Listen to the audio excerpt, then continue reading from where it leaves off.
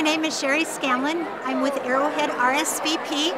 We place volunteers 55 and better in nonprofit agencies in the area, local hospitals, nursing homes, United Way, etc., to help out in any way that either helps them that using their past experiences or trying something new after they've retired or they're empty nesters. What's the importance of all, what's the importance of volunteering? Well, first of all, you're helping the community, you're giving back, and that's one of the big things that RSVP does is that we do prove that 55 and better gives back to the community.